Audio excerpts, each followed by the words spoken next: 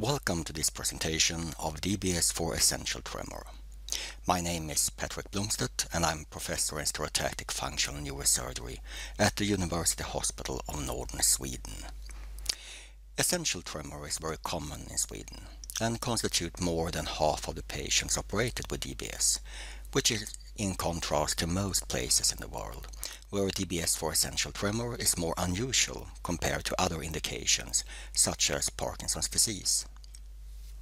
Hence, we have been able to gather a large experience in this field, and DBS for essential tremor has been our primary scientific focus for 25 years. My intention is to here provide a brief overview for patients suffering from this condition and who are interested in learning more about this therapy. You will here get the same information as at a consultation at our unit, but in a more detailed and pedagogic manner. I believe that by having a good understanding of your disease and about the therapy you are receiving, you will be in more control of your life and that this will have beneficial effects both for your physical and mental well-being. However, I can of course here only provide you with general information without consideration to individual factors, and my opinions are based on our own experience and might not be shared by everyone. Before continuing with this presentation, please have a look at the previous video, What is Deep Brain Stimulation? In order to be able to fully appreciate the details in the current presentation. Essential tremor is hereditary in 50% of the cases. It can appear in all ages, but onset is most common in upper middle age. About half a percent of the population is suffering from this condition, and it is common among the elderly, where 5% of those over 65 years of age are affected. It will normally start in the dominant hand and later spread to the other hand. Tremor of the head is quite common and is often considered as a problem. Tremor of the voice is not uncommon, but this constitutes a problem only in a few patients. Tremor of the legs is quite uncommon and seldom poses a problem. Essential tremor is a tremor of action, while rest tremor is very uncommon. Over time, the tremor will progress and often change its character. In older patients with severe tremor, it often has a higher amplitude, a tendency to more proximal involvement and a tendency to more jerky movements, and spontaneous improvement is rare. The tremor will in most patients respond well to alcohol and increase under stressful conditions. The patient will typically complain of difficulties eating, drinking, writing, etc. The social embarrassment of this condition is often perceived as disabling as the functional decline by patients, and many will avoid social gatherings. Essential tremor is a cerebellar disease, and affection of gait and balance are common and problems with coordination of movements can also be seen in the hands, especially in the older patients with more pronounced disease. Beta blockers are the first line of treatment. It is estimated that 50% of the patients will not respond well to pharmacological therapy, and we will start to consider DBS if beta blockers or primidone do not have the desired effect. Other medications are only tried if DBS has been deemed unsuitable. The underlying cause of essential tremor is not well understood, but as mentioned, it seems as if the origin to the problem is located in the cerebellum. Pathological neural impulses will from here be propagated through nerve bundles for the whole brain and out to the peripheral nerves and muscles, where they will cause tremor in the hands and other parts of the body. By implanting electrodes into these bundles in the brain, we can introduce new impulses that will block the pathological signals and hence the tremor. When the patient is referred to us for consideration of DBS for essential tremor, he or she will be evaluated by myself, our neurologist, and our DBS nurse. The first thing we look at is the age of the patient.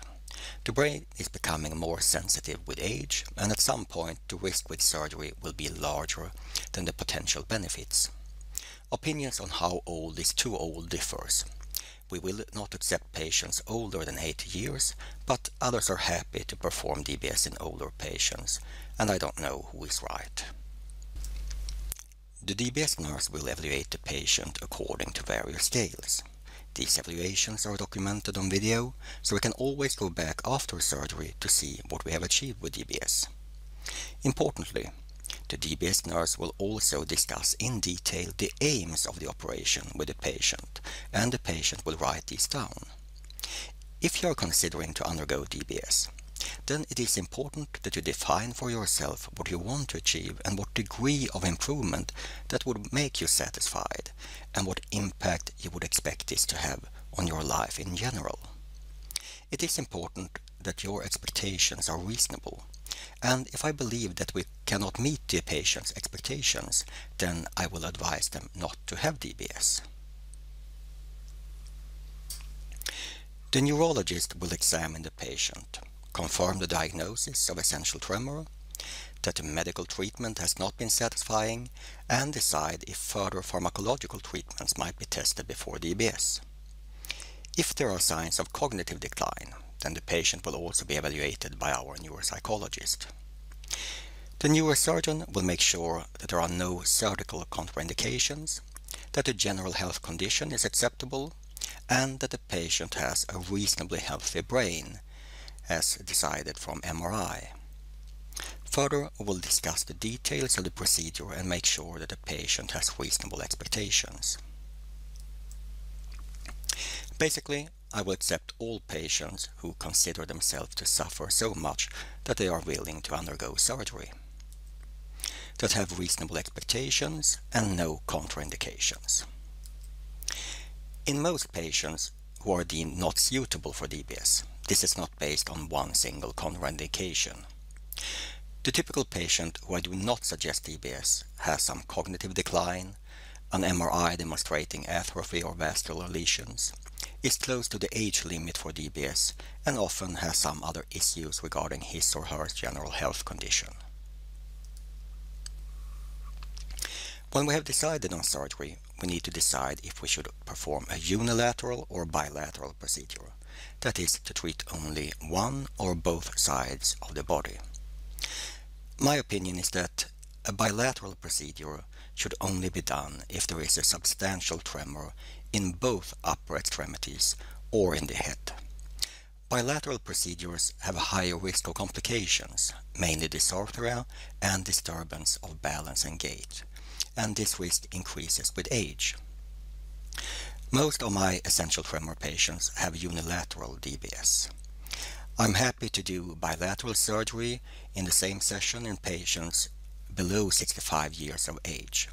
Between 65 to 70, I will do it in selected patients in two different sessions, but above 70 years of age, I don't recommend bilateral surgery. We will further discuss with the patient and decide on whether to use a rechargeable or non-rechargeable neuropacemaker. These have different advantages and disadvantages and we'll try to find what is most suited for the individual patient. I have discussed how the procedure is done in detail in the previous video. We performed the implantation with the patient asleep based on the identification of the target structure in the brain on MRI and the location of the electrode is verified with an intraoperative X-ray investigation. But there are many variations in how the procedure is, is done around the world. Concerning complications, stimulation-induced side effects Infections, hemorrhages and hardware-related complications were discussed in the previous presentation. In general, DBS for essential tremor is a safe procedure with few complications or side effects of a serious nature and well tolerated also by older and more frail patients. However, often the patient will notice a postoperative edema. Immediately after surgery, an edema is formed around the electrode. Many patients will notice this as an improvement in their tremor, but about 7% will also notice an unwanted side effect, most often in the form of slow or slurred speech or sometimes as a feeling of clumsiness in a limb. These symptoms will disappear within a few days or weeks when the edema resolves. A few of our elderly patients have noticed a slight deterioration of the balance after surgery. This is not so pronounced that we have been able to verify this with our tests. As I mentioned in the last video, the patient will stay a few days after surgery and return after four weeks to start the stimulation. Programming of the stimulation parameters is usually straightforward and most patients will not need to come back for any adjustments during the first year. We will evaluate the patient after one year and then every second year or when needed. The patient is further equipped with a remote control that can be used for making minor changes in the stimulation, but mostly to turn the stimulation on and off. We strongly recommend the stimulation to be turned off during the night in order to decrease the risk for development of tolerance and stimulation-induced side effects, and in order to increase the battery longevity. In our experience, a non-rechargeable battery will last for about 5 years, and to change the battery is a minor procedure, which is done in about 20 minutes with the patient awake or asleep. DBS for essential tremor is done in order to improve the quality of life for the patient, and after surgery, the idea is that you should be able to forget that you have undergone this procedure. The implants will not break or change position if you fall or suffer a minor trauma, and you can virtually do whatever you want without taking the DBS into consideration. Concerning the effect of DBS, Almost all patients will have a good tremor reduction during the first months after surgery. But unfortunately, in approximately 10% of the patients, we will see a poor effect over time. In some patients, this might be due to progression of the disease, but usually it is due to development of tolerance with increased stimulation strength over time. Eventually, this might lead to a poor result when the stimulation cannot be increased further due to stimulation-induced side effects, such as affection of the coordination of movements or so-called ataxia. In such cases, we'll try to lower the stimulation strength and ask the patient to use the stimulation only when really needed in order to preserve as much of the effect as possible. Thankfully, we have a good outcome in about 9 out of 10 patients.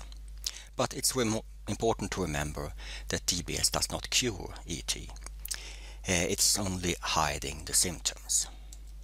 According to the scales we are using, we will improve tremor and function in the treated hand with somewhat more than 80%. About 90% of our patients have what I consider to be a good effect of the operation, with this I mean that we have removed most of the tremor and that the patient now has a hand that is working and that can be used for drinking, writing and similar tasks, even if there might be some tremor left. I believe that about 90% of our patients are satisfied with the procedure. Some of them are very happy, while others are satisfied even if they had hoped for a better effect. The effect is rather stable over time, but in individual patients a deteriorating effect is sometimes seen with increasing age and progress of the disease. It is always easier to describe the results in images than with words, so let us look at a few examples. Here to the left we see a patient without DBS where we are measuring the tremor as seen in the curve. To the right we see the same patient with DBS and we can see that the tremor is significantly reduced.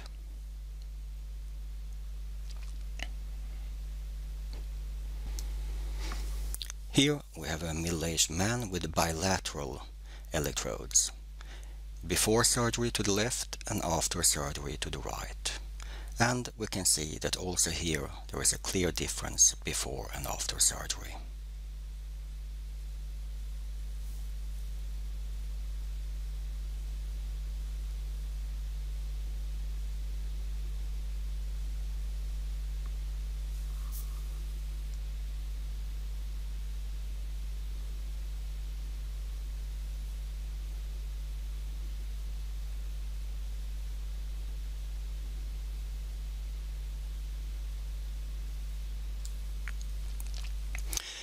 The last patient that I will show you here is an elderly gentleman with severe tremor. Often in such patients there will be some remaining tremor after surgery, but the results are in general good. Old patients will have as good an effect as young patients, and patients with more severe tremor will have the same level of improvement as patients with less severe tremor. However, the more tremor before surgery, the more residual tremor after surgery can be expected, and older patients tend to have more severe tremor both before and after surgery.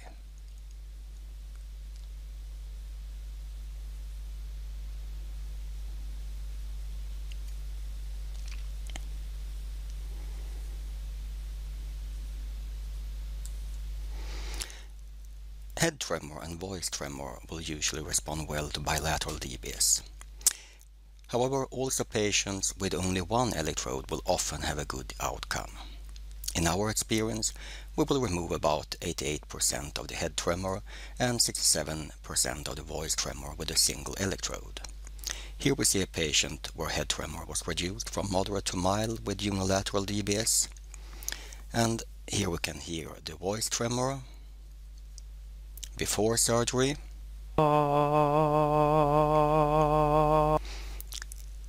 And after surgery.